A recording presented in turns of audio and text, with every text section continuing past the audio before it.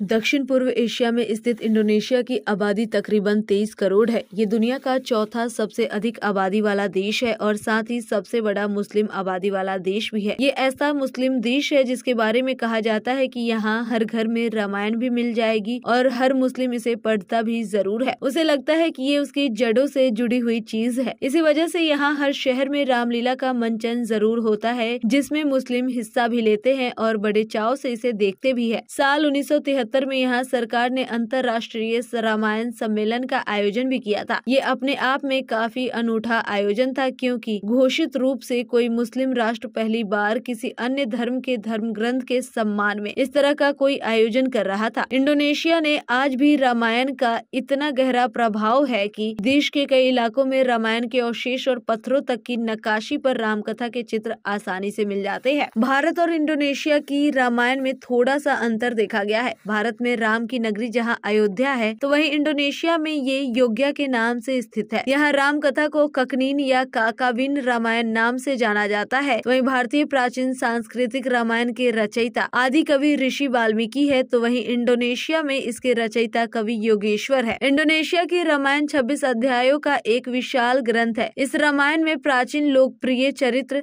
दशरथ को विश्व रंजन कहा गया है, जबकि उसमें उन्हें एक शैव भी माना गया है। यानी कि वे शिव के आराधक है। इंडोनेशिया के रामायण का आरंभ भगवान राम के जन्म से होता है, जबकि विश्वामित्र के साथ राम और लक्ष्मण के प्रस्थान में समस्त ऋषि गणों की ओर से मंगलाचरण किया जाता है। और दशरथ के घर इस ज्येष्ठ पुत्र के जन्म के साथ ही हिंदेशिया का वाद यंत्र गामलान बजने लगता है। इंडोनेशिया की रामायण में नौसेना के अध्यक्ष को लक्ष्मण कहा जाता है, जबकि सीता को सिंता कहते हैं। हनुमान तो इंडोनेशिया के सर्वाधिक लोकप्रिय पात्र है। हनुमान की लोकप्रियता का अंदाज़ा इसी बात से लगाया जा सकता है कि आज भी हर साल इस मुस्लिम आबादी वाले देश के आज़ादी के जश्न के दिन यानी कि 27 दिसंबर को बड़ी तादाद में राजधानी जकार्ता की सड़कों पर युवा हनुमान का वेश धारण कर सरकारी परेड में शामिल होते हैं। खैर, आपको बता दें कि हनुमान को इंडोनेशिया में अनुमान कहा जाता है। पिछले साल ही इंडोनेशिया सरकार ने भारत के कई जगहों पर इंडोनेशिया के रामायण पर आधारित रामलीला का मंचन करवाने की मांग की थी। इंडोनेशिया के शिक्षा और